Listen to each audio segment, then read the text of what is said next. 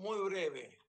Comparto todos los fundamentos en la importancia de esta decisión estratégica que estamos tomando, que es que tengamos, fortalezcamos el sistema de, de ciencia, tecnología e innovación.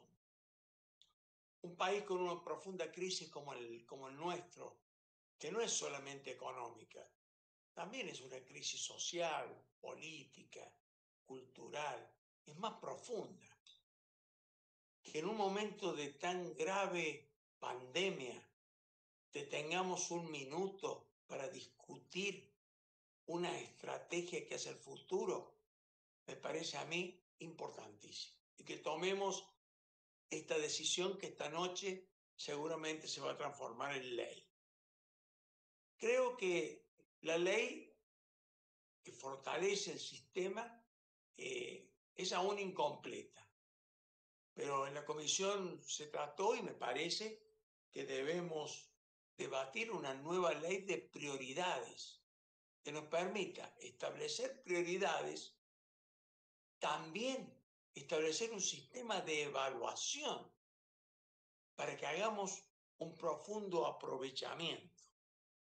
Este, la Argentina, en el aspecto científico, tecnológico, de nuestras capacidades, tiene una potencialidad enorme que se ha visto reflejado en este momento de, de la pandemia. Pero quiero resaltar un hecho que nos distingue en Latinoamérica. La Argentina es el país que más premios Nobel tiene. La Argentina tiene cinco premios Nobel, argentinos que lo han logrado. En 1936, Carlos Saavedra Lamas, Premio Nobel de la Paz. En 1947, Bernardo Usain, Premio Nobel de Medicina. En 1970, Luis Federico Leloir, Premio Nobel de Química.